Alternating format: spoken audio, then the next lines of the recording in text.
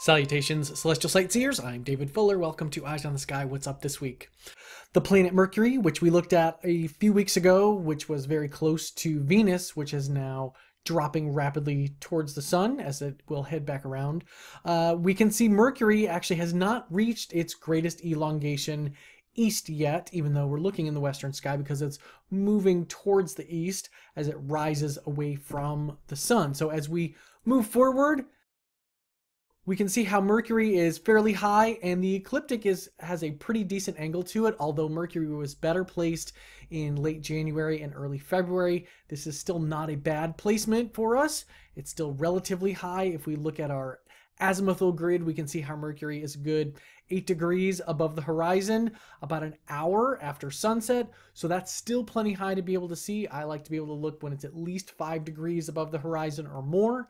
So that's a good spot. And if you're not sure exactly where it's at, look for Capella in the northwest and Procyon towards the west. And Mercury is going to be about halfway in between. Uh, it's going to change as we kind of go through the next two weeks or so. Uh, you can see how it's going to move more towards Procyon as it sort of uh, moves over and then dips down and even switches position uh, where that is relative to the ecliptic. But there's a couple other things that you may want to take a look at. As we zoom in a little bit on the 29th of May, you can see how Mercury is really super close to Messier 35.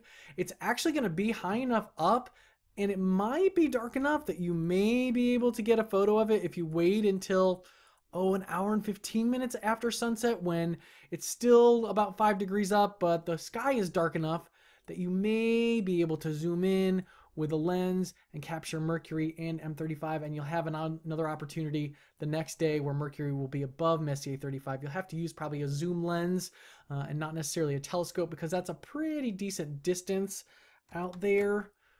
Uh, if we look, that's going to be a good over a degree, so telescope might be out of the question, but a zoom lens should probably work. Or if you have a DSLR, you might be able to attach it to a fast focal ratio refractor and still be able to get that. As we go forward, though, watch what else happens. We can see how, uh, as we move forward in time, it's going to also move towards this star, which is Epsilon Geminorum. Uh, and it's not too far away from that either. That's a double star. And uh, you may be able to capture the two of those on the 6th, perhaps the 7th, maybe the 5th as well. But the 6th looks like probably the best opportunity for that. And uh, we can watch how if you want to you can even capture how mercury looks over that time if you get the same exact position. So if we start we can see how if we use our sky and viewing options window we can look at the planet orbits.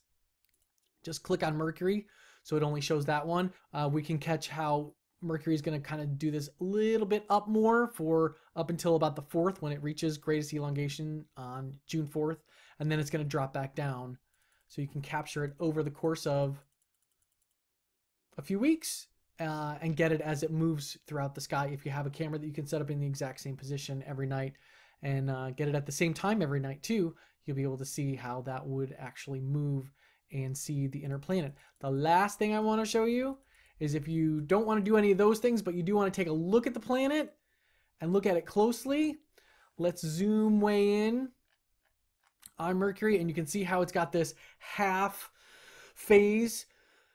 And as we go forward in time, it's going to move more towards a crescent. Uh, and as we do that, I don't know if you noticed over here, you can see what's happening to the magnitude has gone dropped way down. We were at like zero, and then we dropped down to one and a half, and that's because it's um, we're just there's less of the planet that's going to be visible. So we go from a 49.1% illuminated at a magnitude of exactly zero on the 29th and you can see how that illuminated gets smaller down to under a third of it illuminated and it drops down you know to below a magnitude and then we're only looking at less you know 20% of it illuminated by the 12th and a 1.4 magnitude but you can still see that phase of the planet if you get an opportunity uh, the size of that is not very big um, but so you'll need a lot of magnification but you can see that uh, if you put enough magnification on it uh, and look at it, or if you even get a, a photo maybe of the planet as well. So that's what you can see for Mercury